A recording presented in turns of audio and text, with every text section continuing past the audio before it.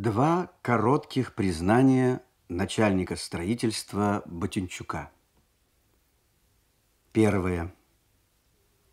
Стройка оказалась грандиозной и сложной. Это громадина, махина, которую трудно охватить. Таких строек у нас не было. И для того, чтобы узнать все, мне, например, понадобилось месяцев шесть. Она сложна по организации производства работ, людей, техники всей. Не так просто организовать сутки, смены, день, час работы стройки. Народ съехался со всех концов страны. Многие никогда ничего не строили, а приехали, решили стать строителями. Второе. Когда я принимал здесь дела, сказал, что принимаю стройку на ходу, и у меня к старому руководству претензий нет. Любая критика работавших до тебя людей говорит не о твоей силе, разборчивости, таланте и всем таком прочем, а о твоей никчемности и неспособности. Прошел слух, что приехал новый начальник строительства. Как в любом коллективе, как и всюду в мире, от подобной перемены каждый чего-то ждет. А если не ждет, то хотя бы видит повод почесать язык. Это, по-видимому, доставляет определенное удовольствие. Говорили, что тот вроде бы прототип одного из главных героев пьесы Алексея Арбузова «Иркутская история». Что Ботинчук купается в проруби при 40-градусном морозе, а память у него такая, что он помнит по именам всех работников стройки, сколько бы их ни было. И еще говорили, будто Ботинчук не повторяет дважды ни одного своего указания, а записных книжек или памяток не ведет и с собой не носит. Говорили всякое. Не осталось незамеченным, что Беляеву, секретарю порткома стройки и другим руководящим работникам не приходилось заботиться, как иногда принято, об авторитете Ботинчука – он утверждал свой авторитет делами.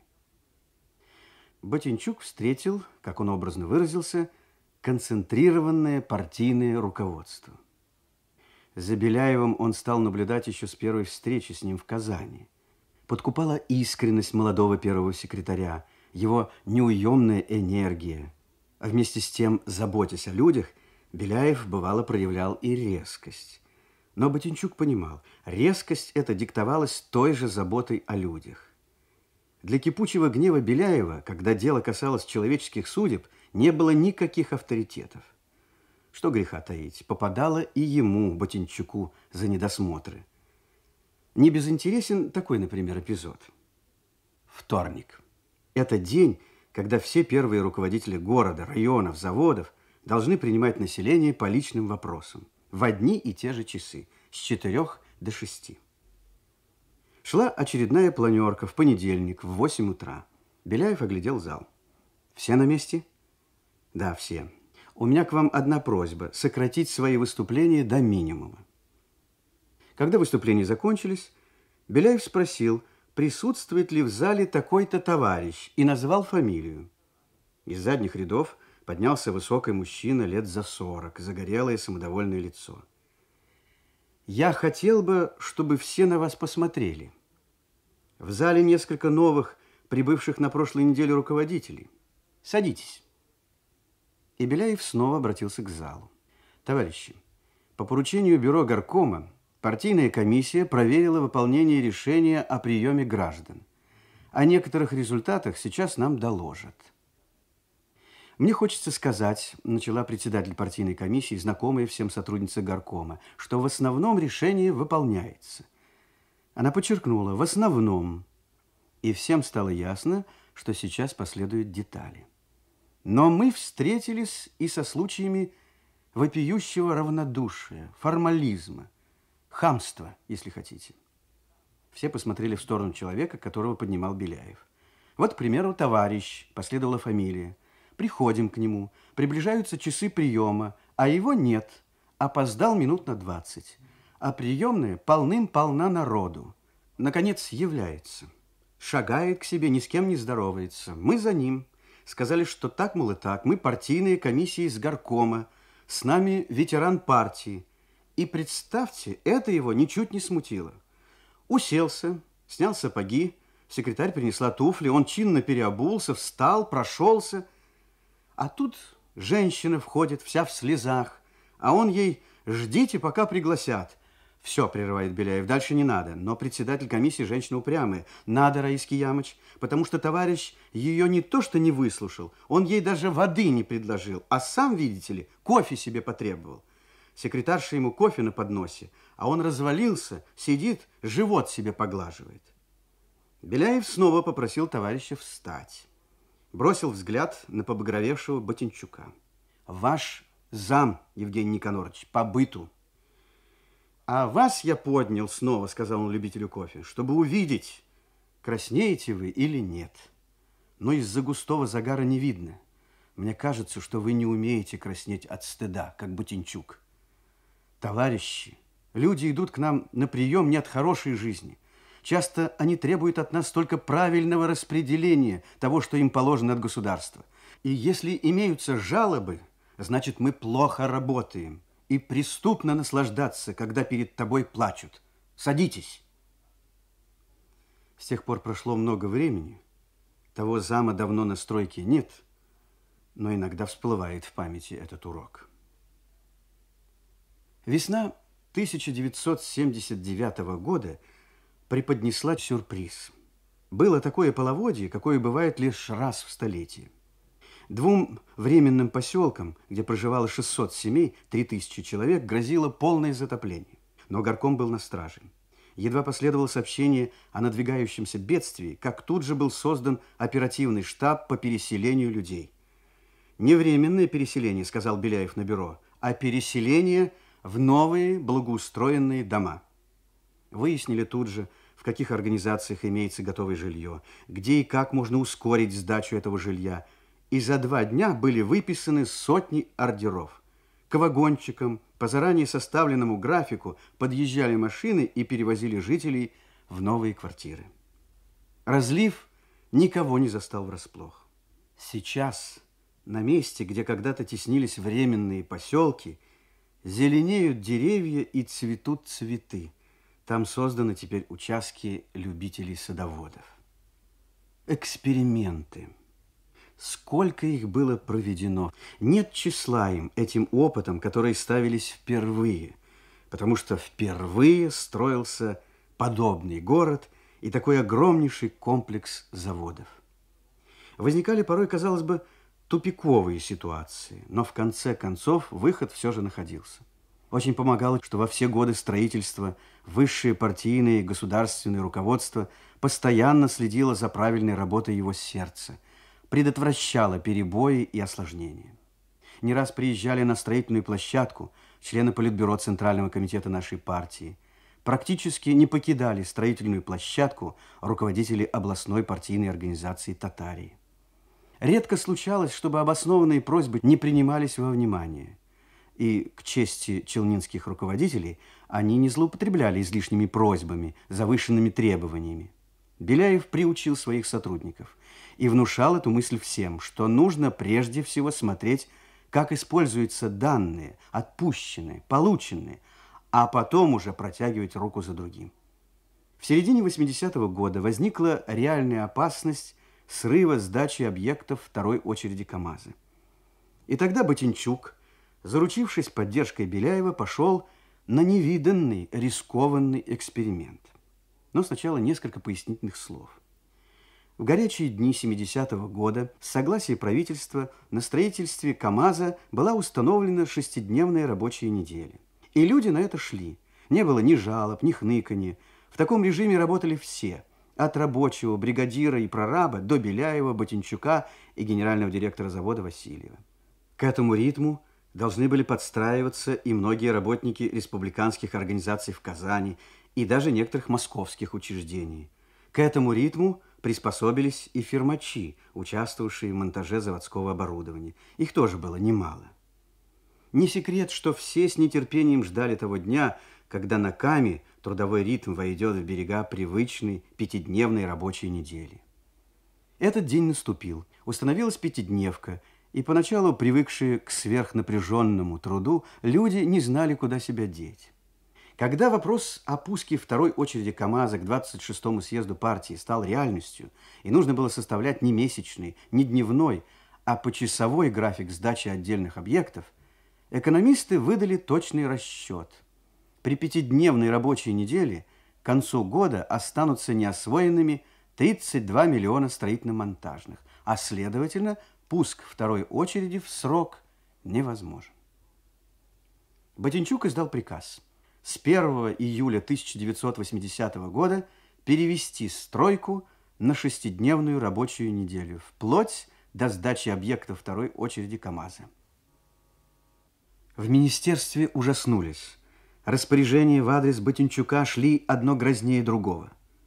Позвонил заместитель начальника главка. «Отмени приказ». «Не отменю», — ответил Ботинчук. Позвонил начальник главка. «Отмени приказ». «Не отменю», — ответил Ботинчук. Позвонил заместитель министра. «Отмени приказ». «Не отменю». «Мы тебя потеряем как руководитель, если не отменишь», — сказал заместитель министра. «Потом искать будете, но не отменю», — ответил Ботинчук. Зарвался якутский князь, подумал, видимо, министр, когда ему доложили об упрямстве Евгения Никоноровича. Он его знал давно, еще с тех пор, когда Ботинчук заезжал в Москву по делам строительства в Алмазном крае. Тогда министр говорил, шутя, вот якутский князь пожаловал, примите его с подобающими почестями. Но, пожалуй, даже тогда не проявлял Ботинчук подобного упрямства. Вызвать его сейчас же на коллегию и поддержать переход на шестидневку. Братчане когда-то тоже так решили. Пусть только Ботинчук убедит в правильности своего поступка ЦК нашего профсоюза. Дежурная по депутатской комнате аэропорта Бегишева удивилась, когда увидела отправляющегося в Москву Евгения Никоноровича с огромным чемоданом. За все эти годы столько раз она провожала в Москву или в Казань начальника строительства, и всегда он был налегке, с небольшим портфелем. И вдруг такой чемоданище. «Может, э, сдадим его в багаж, Евгений Никонорович?» – робко спросила она. «Нет, возьмем с собой в кабину». Он явно пользовался своими привилегиями депутата. Так позвать, что помогли вам донести? Никакой помощи не надо, сами донесем. И он кивнул настоящего рядом председателя постройкома. В Москве, в раздевалке ЦК профсоюза, старой гардеробщицы, которая знала Ботинчука много лет, не оказалось. А новая заявила категорично, с чемоданом нельзя, сдайте его гражданин в камеру хранения. Ботинчук не растерялся. Это чемодан с ценностями – показал свое министерское удостоверение личности и смело прошел к лифту.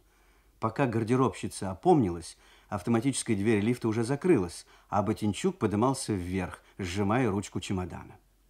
В приемной председатели ЦК профсоюза тоже сделали большие глаза, когда увидели чемодан. Прямо с самолета? Да, прямо. Поняли, у человека и так забот немало. Зачем докучать? Он сел и стал ждать вызова на заседание президиума, держа руку на чемодане, словно боясь, что его сейчас у него отнимут. С минуты на минуту вас могут пригласить, Евгений Никонорович. А это поставьте в комнату напротив, там никого нет, сказал дежурный секретарь, кивнув на чемодан. Ботинчук сделал вид, что не слышит, а когда его попросили зайти в зал заседания, он быстро схватил свой багаж, и члены президиума, прежде чем увидеть упрямого начальника управления КАМ ГЭС-Энергостроя, заметили вползающий чемодан. От содержимого чемодана Ботинчука зависел не только исход сегодняшнего обсуждения на заседании Президиума ЦК профсоюза, но и сдачи мощностей второй очереди КАМАЗа. Прежде чем отдать приказ о переходе на шестидневную рабочую неделю, Ботинчук долго обсуждал вопрос в горкоме, в своем партийном комитете, не один час провел наедине с Беляевым. Потом зашел к своему близкому помощнику, главному инженеру строительства Владимиру Александровичу Альфишу. Поговорил с ним, попросил созвать совет бригадиров. 1500 бригад на строительстве КАМАЗа. Закаленные бригадиры и порторги бригад выслушали короткие сообщения членов совета. Мнение было одно. Нужно честно и прямо сказать о создавшемся положении, обсудить его в бригадах и только тогда принять решение. Составлять протоколы, посоветовал Ботинчук, и скреплять решения, будь они положительными или отрицательными, подписями всех членов бригад. Сказано, сделано. И легли на стол начальника строительства 1500 протоколов, 1500 собраний. Из 56 тысяч строителей проголосовали против перехода стройки на шестидневную рабочую неделю 5 человек. Именно эти протоколы были в чемодане Евгения Никоноровича. Приказ Ботинчука оставили в силе. Вторая очередь КАМАЗа была принята в эксплуатацию с оценкой «отлично». И только тогда стройка вернулась в режим пятидневной рабочей недели. Когда возникла идея строительства нового завода мощных грузовых автомобилей, большинство его будущих строителей находились еще под крылышком у заботливых мам и бабушек. Стройки, как правило, и особенно такие грандиозные, дело мужское. Что же касается женщин, то чего греха таить, забота о них отодвигалась пока что на второй план. Но за потоком молодых мужчин, как было всегда, двинулся поток девушек. То ли к любимым поближе, то ли в поисках своего счастья, своего берега в жизни. И прошло не так много времени, когда перед отделами кадров, размещенными по решению горкома в вагончиках на улице гидростроителей, встала в виде живой очереди проблема трудоустройства приехавших женщин. Потом загудела стройка от свадебного веселья. Аисты принесли на набережную Надежды десятки тысяч камазят. Ранним солнечным февральским утром Раис Беляев вышел убедиться лично, как убран город к предстоящей в 12 часов церемонии торжественного подписания акта о сдаче в эксплуатацию объекта второй очереди. По широкому тротуару проспекта Мусы-Джалиля навстречу ему шагали, не торопясь и что-то обсуждая, трое мальчишек. По росту и по ранцам за спиной первоклассники. Беляев взглянул на часы – еще нет одиннадцати. Поравнявшись с ними, спросил, «Вы откуда?» «Из школы», — ответили хором. «А чего так рано?» Мальчик повыше бойко произнес очень простые слова. «Мы сегодня сдаем КАМАЗ». «Мы сегодня сдаем КАМАЗ», — повторили двое его товарищей. У секретаря горкома, не переставшего за суровые годы быть сентиментальным, перехватило горло. Да, вчера Лидия Викторовна Шилова — все идеологи КАМАЗа созванивались со всеми челнинскими учреждениями, школами, детсадами, больницами.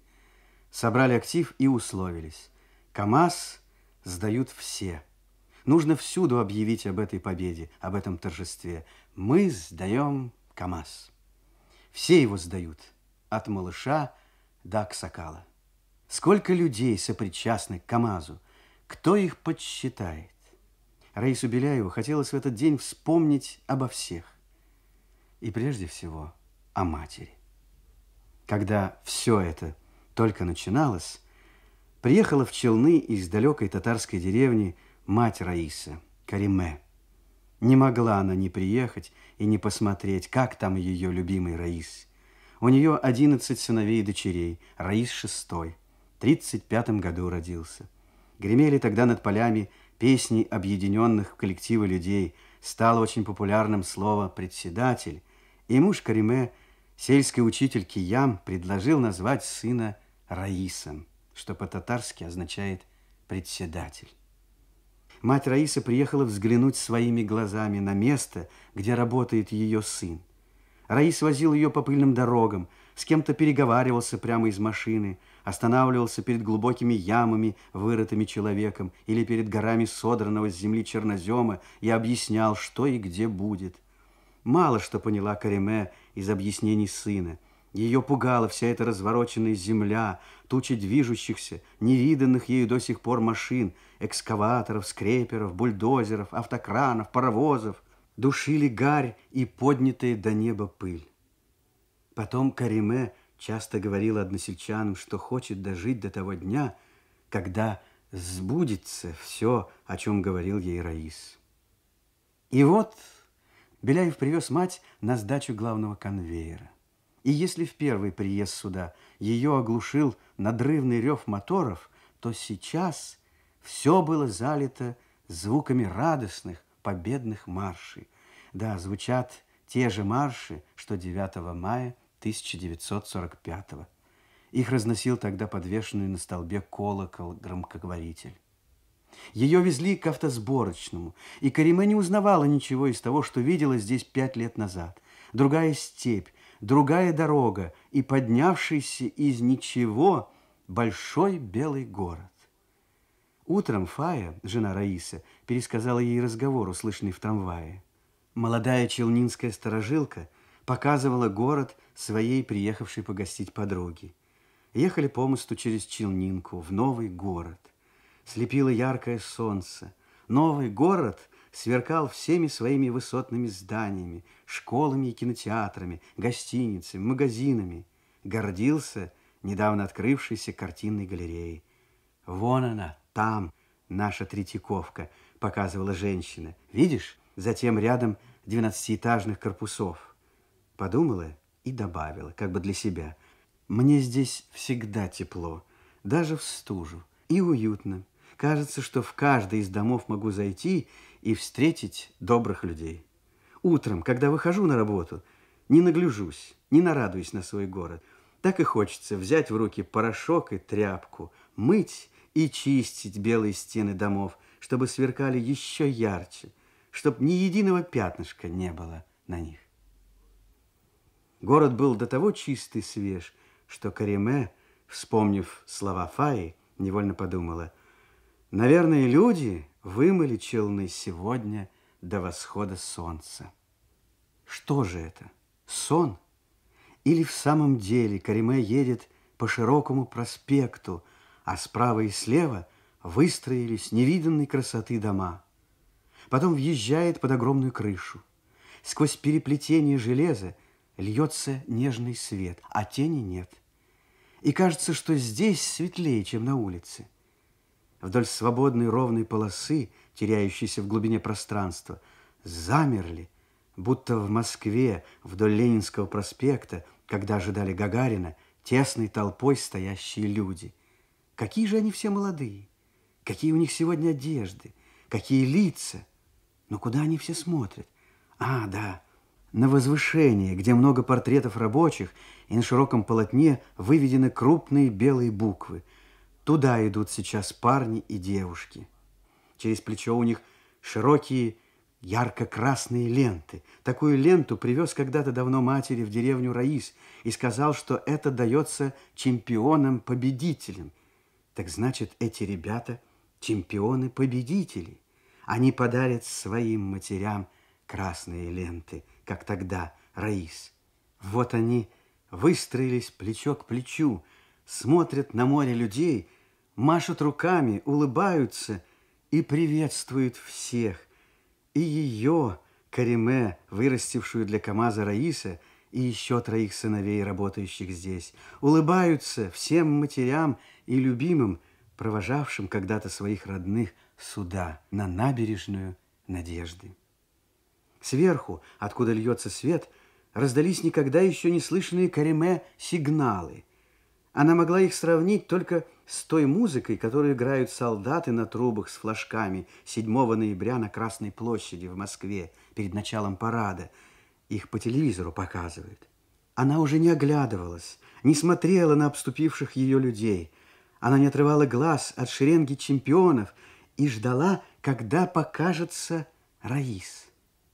Наконец, среди украшенных почетными лентами передовиков строительства появился Ботинчук Евгений Никонорович, сосед ее сына. Его Кариме сразу узнала. А вот и Раис стоит рядом с худым человеком в очках. Это Васильев Лев Борисович, генеральный директор. Васильев знает все, говорил сын, все до последней гаечки. Вначале Раис а вслед за ним и другие стали говорить торжественные и взволнованные речи, такие, как на празднике. Шеренга ребят с лентами подошла к Васильеву. Строители передали генеральному директору большущий ключ, на котором написано «КамАЗ». И Васильев поднял высоко над головой ключ от КамАЗа, от всего, что построено здесь. Вот он какой, генеральный директор Лев Борисович Васильев. Просто генерал, человек, который знает здесь все до последней гаечки. Васильев отдал ключ, стоявший чуть в стороне бригаде чемпионов, а вся бескрайная толпа зашумела, закричала «Ура!». Раис поднял руки, но люди шумели еще громче, и голоса раскачивались, как сосновый бор под ветром, и казалось, что зашатается сейчас и весь этот разноцветный железный лес с причудливо переплетенными ветвями.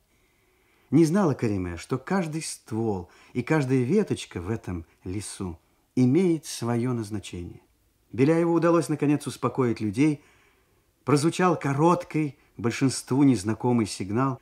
Генеральный директор подал знак, и началось самое главное. То, ради чего приехал сюда сын Кариме Раис Беляев, приехали Ботинчук и Васильев. Все это огромное множество людей. Металлический лес вздрогнул и бесшумно тронулся, поплыл. Люди стали смотреть вверх, где под самой крышей плавно двигались чудные руки, захватывая и опуская детали. В самом конце свободного от людей проулка опустилась металлическая рама, и Васильев, а вслед за ним и Раис, взглянули на часы. Карима не знала еще, что будет дальше, но ею овладело чувство редкого волнения. Она пыталась сдерживать слезы, чтобы они не туманили зрение, не мешали следить за происходящим. Вдруг все разум вытянули руки вверх, будто указывая друг другу обнаруженную там звездочку-спутник, ну совсем как внучата Кариме. Стоящая рядом с Кариме женщина шепнула «Знамя». Да, как это Кариме не догадалась раньше? Это же знамя. Это оно колыхалось там, в высоте, а сейчас опускается к людям и медленно плывет, подхваченный ими со всех сторон. Одетые в спецовки ребята по очереди подходят к знамени, что-то прилаживают к нему и пропускают вперед. А оно, как зарево, близится, притягивая к себе глаза всех собравшихся. Лицо сына – напряженное и озабоченное в начале торжества, озарено светом приближающегося чуда. Потому что Кариме только сейчас поняла, то, что она и многие другие приняли за знамя, было выкрашенный яркий цвет кабиной первого КамАЗа. Этого чуда, созданного руками людей. Знамя Челнов – первая его красная машина. Вот она уже сходит с главного конвейера. Ребята заправляют ее горючим, и в кабину поднимается первый экипаж. Все смолкает, и через секунду раздается первый сигнал первого КамАЗа.